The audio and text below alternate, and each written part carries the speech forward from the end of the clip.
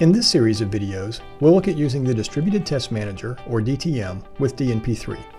We'll show how to configure multiple outstation devices using comma-separated values or CSV files to create the point list, how to configure DNP3 masters to communicate with and retrieve data from multiple outstations, using a simple insight display to show data retrieved by the master, monitoring communications using a built-in protocol analyzer, and several ways to simulate data in DNP3 outstations.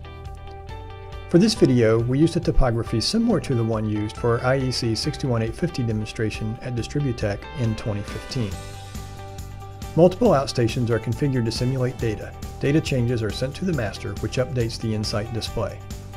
For more information on the DTM, please visit www.trianglemicroworks.com slash products slash testing-and-configuration-tools slash DTM-pages. That link is provided below for your convenience. You may also go to www.trianglemicroworks.com, select Products, Testing and Configuration Tools, and Distributed Test Manager.